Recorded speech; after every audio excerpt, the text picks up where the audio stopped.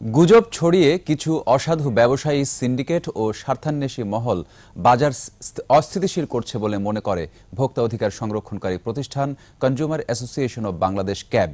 এই অবস্থায় নজরদারি বৃদ্ধির পরামর্শ দিয়েছেন ক্যাব নেতারা। একই সাথে খাদ্য নিরাপত্তা নিশ্চিতে কৃষকদের উন্নত বীজ, সার ও ঋণ সুবিধা বৃদ্ধিরও তাগিদ দেন সংগঠনটি। বিস্তারিত জানাচ্ছেন রিয়াজ সুমন।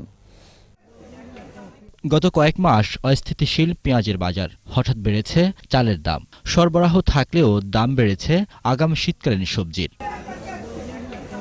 এ অবস্থায় জাতীয় প্রেস ক্লাবে নিত্যপণ্যের মূল্য ঊর্ধ্বগতি নিয়ে ভোক্তা অধিকার সংরক্ষণকারী প্রতিষ্ঠান কনজিউমার অ্যাসোসিয়েশন অব বাংলাদেশ ক্যাবের সংবাদ সম্মেলন সংগঠনটির দাবি, গুজব ছড়িয়ে বাজার অস্থিতিশীল করছে অসাধু ব্যবসায়ী সিন্ডিকেট ও স্বার্থান্বেষী মহল। পরামর্শ দেয়া হয় নজরদারি বাড়ানোর।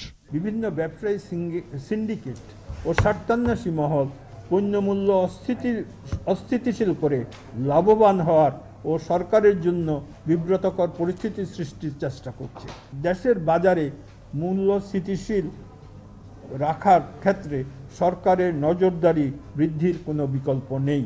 দীর্ঘমেয়াদে পেঁয়াজের বাজার স্থিতিশীল রাখতে উৎপাদন বৃদ্ধির কোনো বিকল্প নেই বলে মনে করে ক্যাব। তাই খাদ্য নিরাপত্তা নিশ্চিতে কৃষকদের উন্নত বীজ সার ও ঋণ সুবিধা বাড়ানোরও পরামর্শ দেয় সংগঠনটি।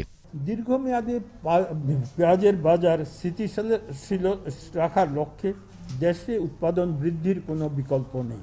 পেঁয়াজের বাজার স্বাভাবিক করতে ভারতের সাথে কূটনৈতিক সম্পর্ক জোরদারেরও পরামর্শ দেয় ক্যাব। পাশাপাশি ভোক্তা স্বার্থ রক্ষায় বাণিজ্য মন্ত্রণালয়ে আলাদা বিভাগ সৃষ্টিরও দাবি করেন বক্তারা।